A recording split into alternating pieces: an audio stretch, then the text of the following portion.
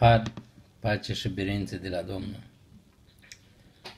Iubiții mei, vreau să vă binecuvântez în seara aceasta în numele și în meritele Domnului nostru Iisus Hristos. Și doresc ca Domnul să ne binecuvânteze pe toți, să ne deschidă inimile la toți cei care cunoaștem Cuvântul Lui Dumnezeu și în special la cei care nu cunosc Cuvântul Lui Dumnezeu. În seara aceasta nu nu vă voi face o predică, ci va fi un îndemn. Va fi un îndemn simplu care l-am primit și eu și m-am gândit foarte mult în această zi la el.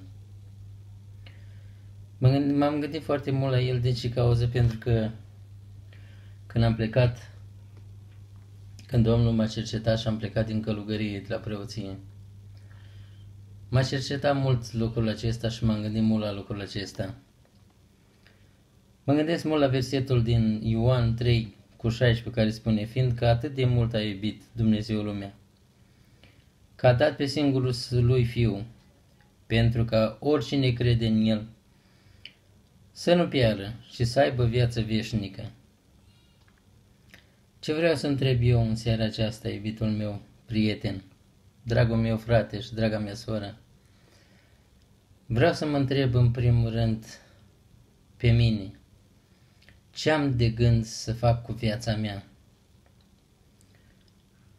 Cât am de gând să merg pe acest pământ îmblând așa pe mai multe drumuri? Mă întreb pe mine și vreau să te întreb și tu în dreptul tău.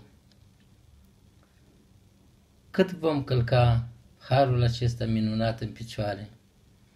Ori eu mă gândesc de multe ori cât am slujit în idolatrie, în mănăstiri, în Biserica Ortodoxă și Dumnezeu m-a iubit și m-a cercetat și m-a scos de acolo. Pentru că numai în numele Lui am avut mântuire și este mântuire în numele Lui. Iubiții mei, vreau să vă gândiți la viața voastră și la zilele care vin, căci vremurile sunt rele, timpurile sunt grele. Gândește-te ce faci tu cu viața ta. Gândește-te tu pe ce drum ești. La cine slujești tu? Dacă Dumnezeu cel drept, Dumnezeu cel veșnic care te-a creat și m-a creat și pe mine păcătosul, m-a iubit atât de mult și a dat pe singurul său fiu, ca oricine crede în el să nu piară să aibă viață veșnică. Eu nu știu ce vrei să mai aștepți tu. Eu am așteptat și eu până la vârsta de 22 de ani. Și Dumnezeu m-a cercetat și l-am primit. Tu nu știu ce vârstă ai. Cel care cu, că asculță în această zi, că ești mai tânăr, că ești mai vârstnic, că ești mai puțin tânăr, că ești un tinerel sau că ești un bătrânel. Gândește-te la Isus Hristos și la jertfa Lui. Gândește-te la, la Dumnezeu Tatăl. Și spuneți un semn de întrebare și spune, Doamne, ce fac eu cu viața mea?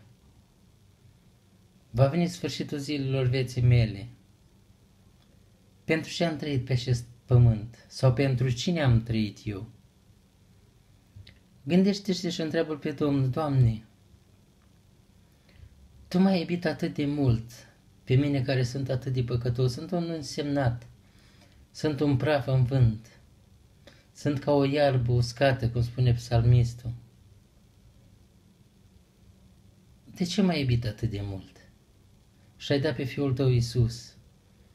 Și eu de multe ori calc în picioare această jerfă și nu mă gândesc la El. Aș vrea, iubitul meu, în seara aceasta să-ți, să-ți pui un semn de întrebare – și te întrebi, spune-ți ție singur, ce fac eu cu viața mea? Ce fac eu cu trupul acesta? Trupul acesta, într-adevăr, este trecător. El este pământ și în pământ va merge. Dar vreau să te întreb, ce faci cu sufletul tău care se războiește în tine și el tânjește după Dumnezeu? Sufletul iubiții mei și Duhul care Dumnezeu ți l-a, ți l-a dat. Tânjește după Isus Hristos. Tânjește după Dumnezeire de acolo de unde a plecat.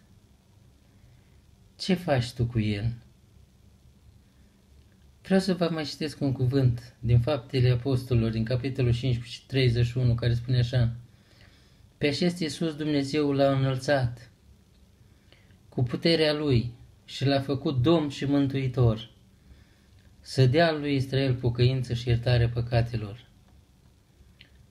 Iubitul meu, dacă e Domnul l-a trimis, Dumnezeu l-a dat pe singurul său fiu ca să vină ca jertfă pentru păcatele tale și păcatele pentru păcatele mele.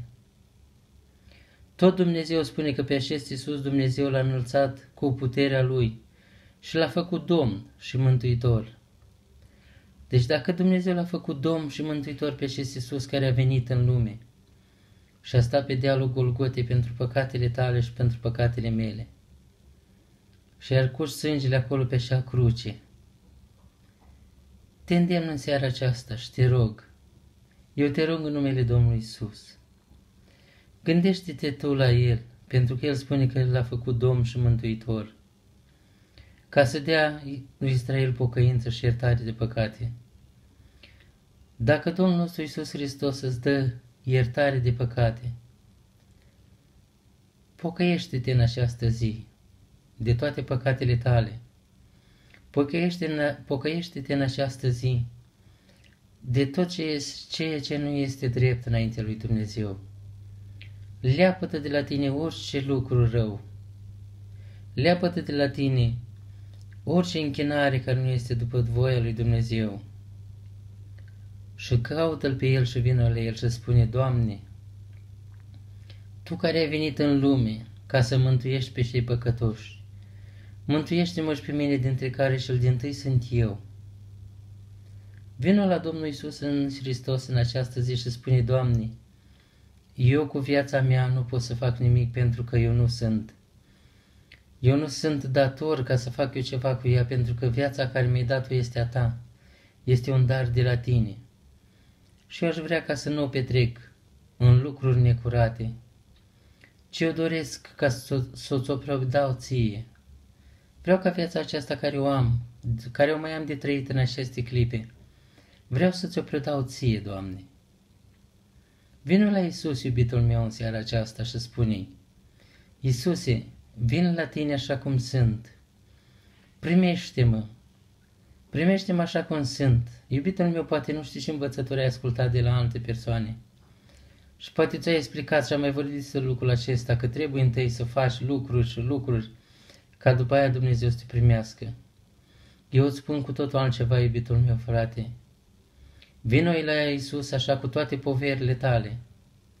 Vino cu toate greutățile tale, cu toate neajunsurile tale, cu toate bolile tale, cu toate păcatele tale, vine la El și spune, Tu care ești Iisus Hristos din Nazaret și care ai stat la Golgota, te-ai răstinit pe cruce pentru păcatele mele, eu vin la tine și îți predau viața mea ție, ca Tu, Doamne, de astăzi să fii Domn și Mântuitor în viața mea și Tu să-mi dai iertare de păcate.